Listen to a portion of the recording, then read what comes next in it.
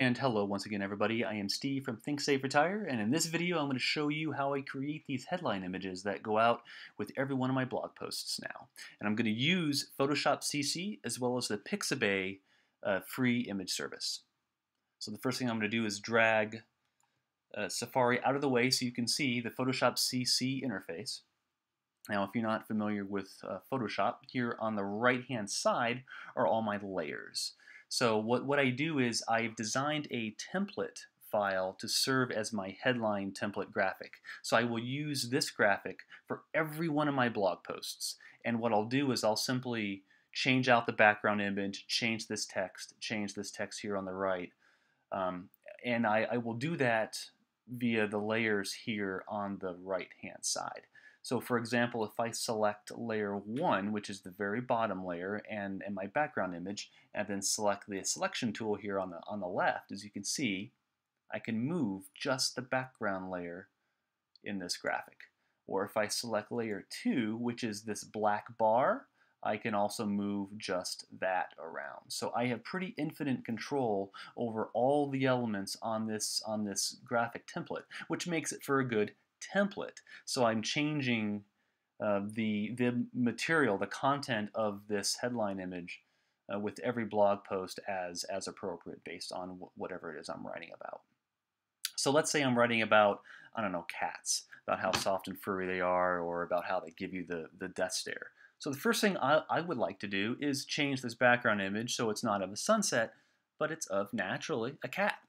So what I will do is I will first go to Pixabay. So let me drag Safari back over here and go over here to Pixabay. And I happen to have a cat photo all, already uh, prepared for us. But if we didn't have that, which most of us probably won't, uh, we will go to the pixabay.com website and search for whatever it is you want to find an image of.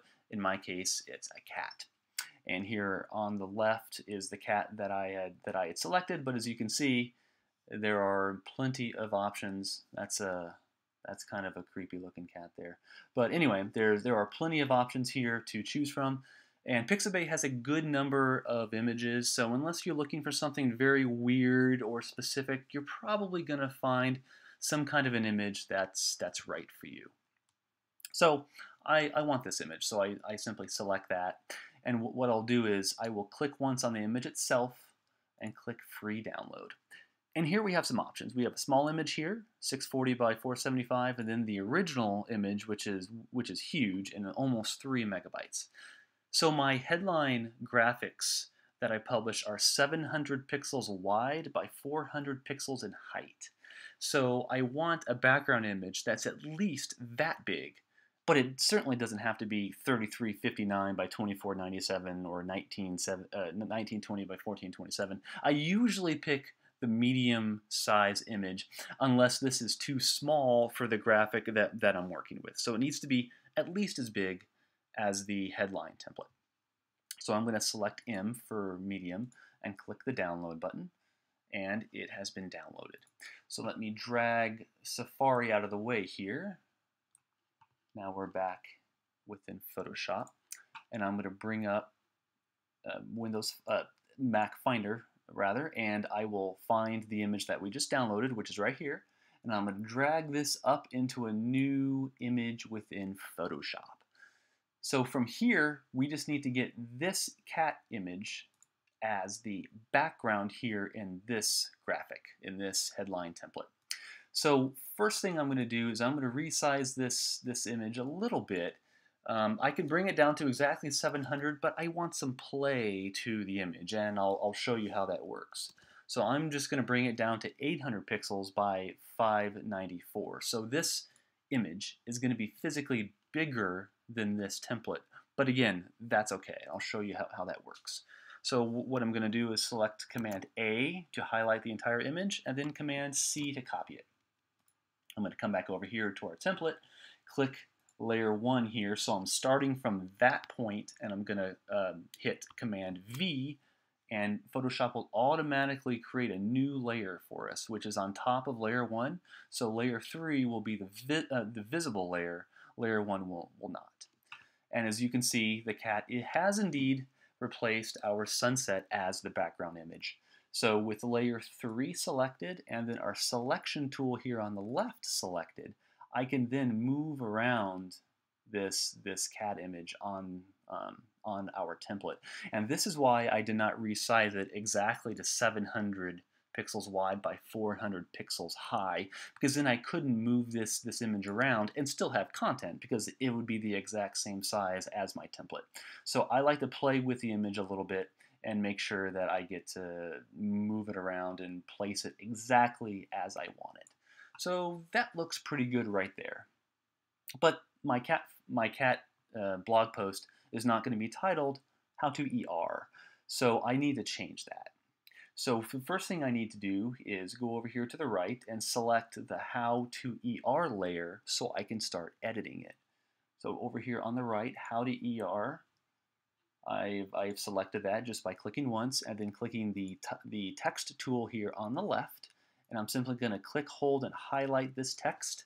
And I'm going to and I'm going to simply type whatever my new blog post is.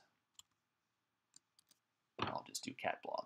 For the purposes of demonstration, this doesn't have to be all that all that slick. I'm just going to use a temporary title there that'll get us through. And as you can see, as you move this around, Photoshop likes to be helpful. As you can see the purple line that kind of helps you to align this text relative to some, some of the other text that, that's, on the, that, that's on the graphic. So if I want it aligned up um, along the lines of, of the very top of this 5, as you can see that purple line lets me do that. I can line it right up along this black box too, but I'm just going to align it so it's centered horizontal, uh, vertically rather, with this 5. So I have cat blog.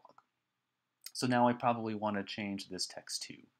And an easy way, in, it, instead of modifying each text uh, layer separately, as you can see, they are separate layers. What I'll probably end up doing instead is just click, uh, clicking on 5, which is this guy, and then also um, how do how how you can do it too.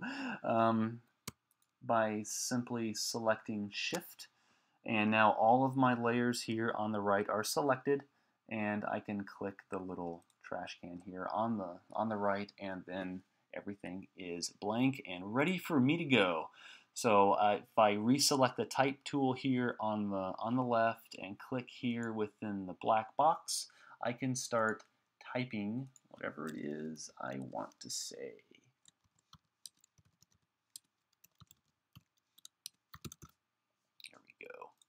Now what I'm going to do is I'm going to stretch this out a little bit here on the right, all kinds of different Photoshop customizations with text. So I'm not going to come up with, with something creative because quite frankly I'm not a very creative person, but I think this demonstrates how I work with this headline image. It all comes down to using a template first and then changing around the elements so it works for me in respect to our new blog post. So that's it. I hope you, you enjoyed the video and learned something from it. That's how I work my headline image workflow with each new blog post. Thanks for watching.